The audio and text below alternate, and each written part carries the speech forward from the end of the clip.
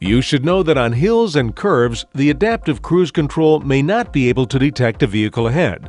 The same is true when the radar sensors are blocked by snow, fog, or other weather conditions. There are two ways to disengage the adaptive cruise control. Simply press lightly on the brake pedal or press the cancel button on the steering wheel hub. To turn the system off completely, press the on-off button.